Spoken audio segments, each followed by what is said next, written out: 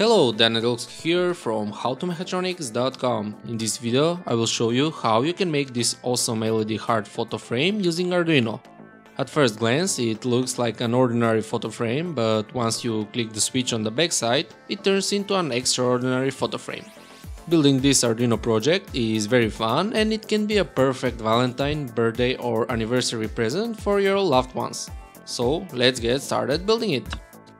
First we need a simple 18 by 13 centimeters photo frame and a fiber board cut to the size of the frame on which we will make holes for inserting the LEDs.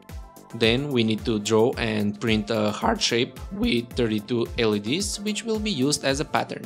We will make the holes for the LEDs using a drill.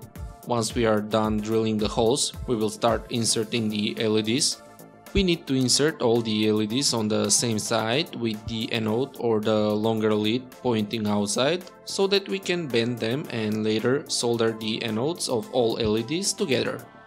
Once we have soldered all LEDs, we should check whether all of them are working properly. For that, we need to connect the positive 5 volts VCC pin to the anodes of the LEDs through a 220 ohms resistor and using the ground pin, check each LED whether it will light up.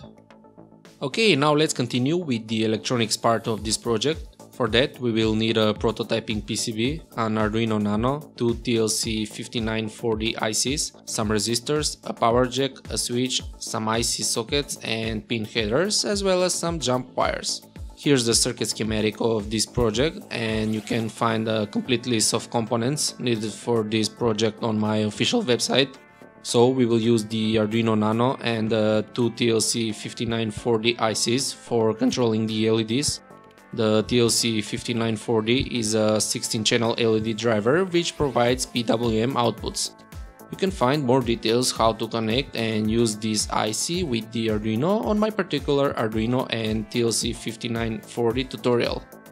Here, first we will insert the IC sockets and the pin headers in place and solder them to the prototyping PCB so that we can attach the ICs and the Arduino Nano to them.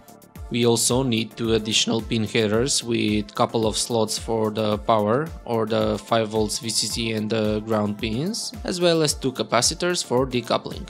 After this, we are ready to connect all the components as shown in the circuit schematic using the jump wires.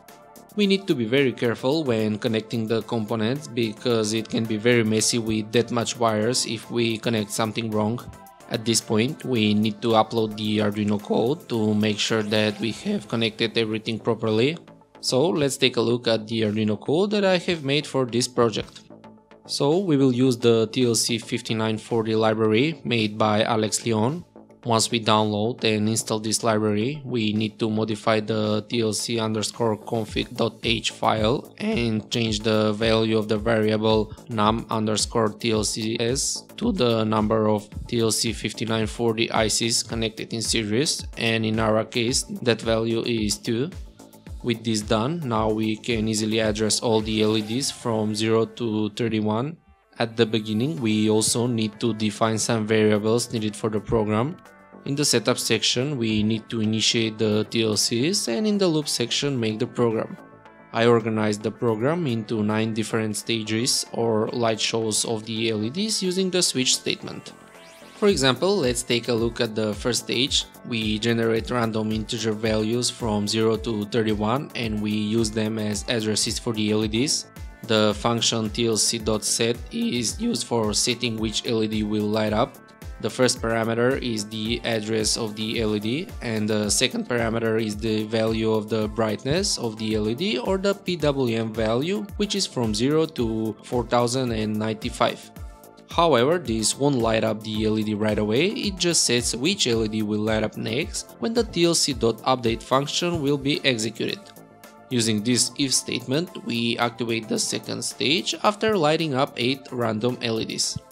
Now let's take a look at one more example, let's say stage 3.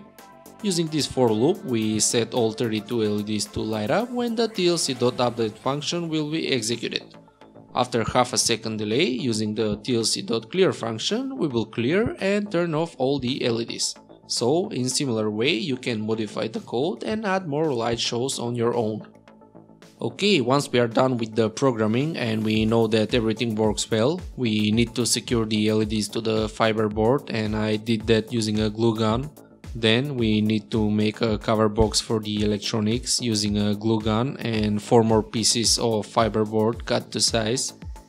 Here's the final appearance of the box and what's left now is to connect the power lines coming from the switch and the power jack which are inserted in the fiber board of the photo frame add the photo and secure the whole box to the photo frame. That's all, thanks for watching and for more projects and tutorials visit my official website howtomechatronics.com.